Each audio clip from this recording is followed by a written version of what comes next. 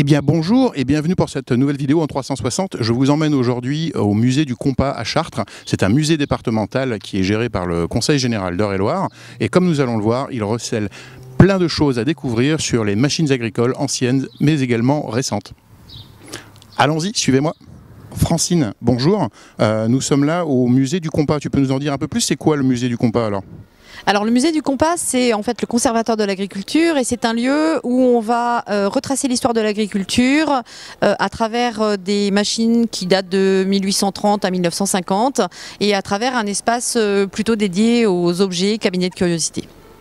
Alors derrière nous, là, on peut le voir, il y a une grande allée. Est-ce que tu peux nous dire deux mots sur cette allée? Qu'est-ce qu'elle représente en fait? Alors effectivement, cette allée, elle a, elle a deux objectifs. En fait, c'est donc la grande ligne des tracteurs qui permet de montrer l'évolution rapide de l'agriculture.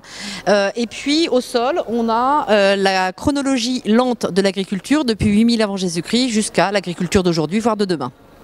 Le musée du compas, c'est quoi comme, euh, comme surface? Tu as quelques chiffres à nous donner?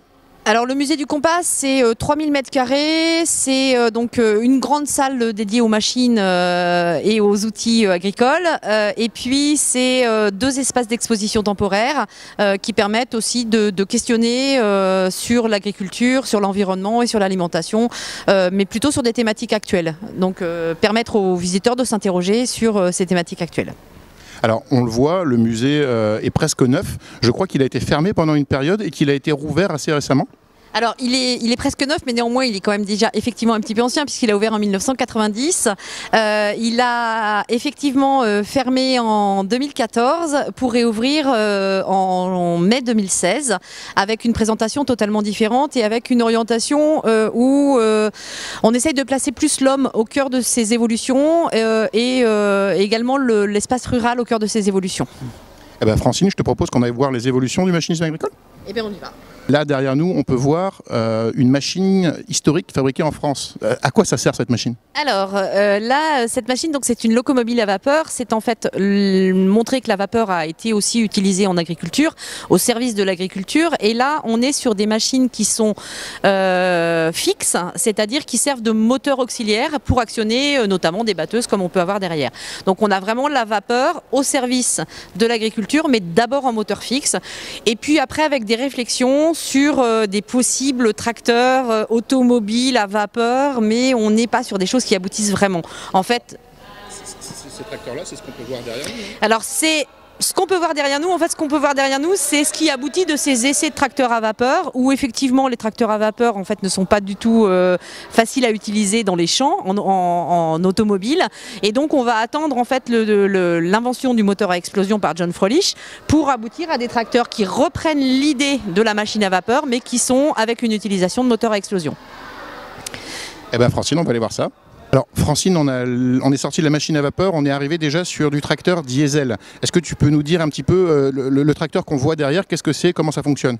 Alors, ce tracteur, donc c'est un tracteur allemand, le Lanz Bulldog. C'est un tracteur semi-diesel, donc euh, pour lequel il fallait préchauffer le, moteur avant le démarrage. Donc, on préchauffait avec une boule à chauffer euh, avec une lampe à chauffer, on préchauffait la boule et puis on pouvait euh, lancer le moteur qui après donc était un, moteur monocylindre. Euh, donc un tracteur qui a été très très utilisé dans nos campagnes, en tout cas sur le principe puisque il n'y a pas que des tracteurs allemands de ce modèle-là, mais aussi des tracteurs français, sociétés françaises par exemple, et bien d'autres. L'intérêt de ces tracteurs-là, c'est qu'effectivement on est sur des tracteurs par rapport au tout premier qu'on a vu tout à l'heure, sur des, tracteurs qui vont être produits de plus en plus en masse et qui sont de plus en plus qui, qui apparaissent de plus en plus comme des outils par eux-mêmes, avec des améliorations, notamment relevage hydraulique ou choses comme ça. Alors ça c'est un petit peu l'industrialisation, c'est ce qu'on voit un petit peu finalement euh, sur ce premier tracteur là, je crois que ça vient aussi du, plan Marshall, tu me disais tout à l'heure, euh, c'est un tracteur Ford mais qui vient aussi de Massey qu'on pourrait appeler un petit gris mais Ford. Euh, alors c'est effectivement donc un, tracteur euh, Ford donc euh, qu'on a effectivement appelé le petit gris. Euh, c'est effectivement des tracteurs qui sont arrivés en France avec le plan Marshall, donc dans, le cadre de la reconstruction après la Seconde Guerre mondiale. et c'est des tracteurs qui présentent un intérêt technique beaucoup plus important puisqu'ils sont en fait des tracteurs essence à démarrage électrique avec une avec un démarreur et donc qui sont beaucoup plus simples à utiliser et puis qui avaient l'avantage en fait quand ils sont arrivés en France d'être euh, proposés à des prix euh, complètement avantageux et donc euh, très très très très développés dans l'ensemble de la France. Donc ensuite, l'étape d'après, ça va être presque le tracteur moderne. Euh, on va voir ça ensemble? Alors on y va. Francine, là, on rentre dans l'époque des tracteurs un peu plus modernes. Euh, première question, on peut le voir derrière nous. Euh, pourquoi avoir fait un tracteur en Lego? Alors pourquoi avoir fait un tracteur en Lego? Euh, Parce que euh, parce que le Lego, euh, ça parle à tout le monde. Parce que le Lego, c'est une communauté de, de, de, fans de Lego.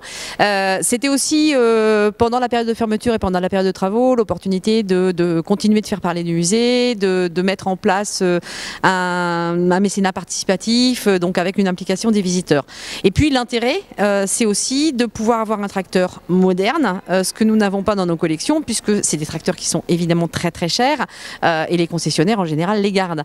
Euh, donc là, celui-ci, c'était un bon compromis. euh, donc à la fois le côté ludique qui est très présent dans le musée puisqu'il y a énormément de prise en compte du, jeune public et puis à la fois la possibilité d'avoir ce tracteur moderne qui donnait qui vraiment termine la ligne des tracteurs et qui donne une bonne impression, une bonne image de ce que sont les tracteurs aujourd'hui. Alors Francine, euh, merci. Euh, je tiens à dire aussi euh, aux gens qui nous regardent que si vous vous retournez, vous allez voir toute la partie récolte également de la collection du musée du compas. On ne peut pas rentrer sur chacune des machines en détail, malheureusement il faudrait que vous veniez pour les voir, mais sachez qu'il y a toute une partie de machines de récolte. Francine, tu m'as dit tout à l'heure qu'il y avait également beaucoup plus d'humains dans le musée. Est-ce qu'on pourrait aller ensemble voir un petit peu ces expositions qui se situent derrière, et notamment celle de l'enfance, parce que je pense que c'est quelque chose d'intéressant. Tout à fait. On y va. Nous voilà dans le cabinet des curiosités de l'enfance. Euh, c'est un des 12 cabinets de curiosités. Est-ce que tu peux nous parler un petit peu de, ce tableau qu'on voit derrière avec euh, toutes ces miniatures, tous ces jouets pour enfants? Alors déjà juste un tout petit mot sur le- le- les cabinets de curiosité, sur le, principe, donc euh, puisque c'est euh, l'idée autour de 12 thématiques de mettre en regard à la fois des objets de collection, mais aussi des objets contemporains et de pouvoir provoquer l'échange intergénérationnel. Donc ici on est typiquement euh, dans un espace qui met vraiment en valeur une partie de nos collections qui sont des collections uniques en Europe aujourd'hui, puisque nous avons la plus belle collection de jouets agricoles qui nous a été euh, donnée par deux collectionneurs. Donc euh, à la fois euh, des, des tracteurs ou des machines agricoles et à la fois des représentations de, de fermes, euh, d'animaux de la ferme euh, et de tout ce qu'on pouvait y trouver. Donc à la fois des, des, des jouets euh, français mais aussi des jouets européens, Europe de l'Est notamment. hum, voilà. Et donc, euh, Francine, derrière nous, on peut le voir aussi, euh, pour les visiteurs du compas, la possibilité pour les petits et les grands de jouer directement et de partager un, moment de, de jeu entre euh, intergénérationnel. Tout à fait. Là, juste, c'était l'idée aussi de d'évoquer le fait que euh, le jouet agricole ou euh, le la représentation de la ferme, c'est toujours quelque chose qui est aujourd'hui euh, en permanence dans l'esprit des gens. N'importe qui, même si on n'est plus que 1% de la population qui est directement en lien avec l'agriculture, euh, n'importe qui, avec une ferme, sait jouer et, et c'est vraiment une permanence du jeu agricole. On continue. Francine, nous arrivons déjà vers la fin de la visite euh, de ce musée du compas. Euh, nous sommes dans un espace un peu particulier qui accueille des expositions temporaires. Tu peux nous en dire un petit peu plus? Alors ici, on est dans un espace euh, d'une centaine de mètres carrés qui accueille des expositions temporaires plutôt courtes, c'est-à-dire d'une durée de 3 à 6 mois, euh, et qui permettent de traiter euh, souvent avec un regard artistique euh, des sujets d'actualité et là notamment on est sur euh, les insectes sociaux euh, guêpes abeilles et fourmis donc euh, effectivement, euh, avec beaucoup d'interrogations, euh, notamment sur la disparition des abeilles. Et donc là, c'est une exposition à la fois donc artistique, mais aussi scientifique et ludique, puisqu'il y a des manipulations pour comprendre justement le, fonctionnement de, ces sociétés d'insectes, et puis et puis des, données très scientifiques sur les, les comportements sociaux qui sont représentés dans ces sociétés dans ces sociétés sociétés d'insectes, pardon. Francine, euh, merci pour cette visite.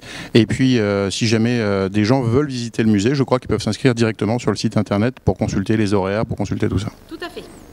Donc sur le site internet du musée, effectivement, on retrouve toutes les informations, les présentations des expositions temporaires, puisqu'on a un roulement d'expositions temporaires qui est quand même de, euh, en général, deux à trois expositions dans l'année. Euh, donc euh, avec une prochaine exposition à découvrir au mois de novembre. Francine, merci.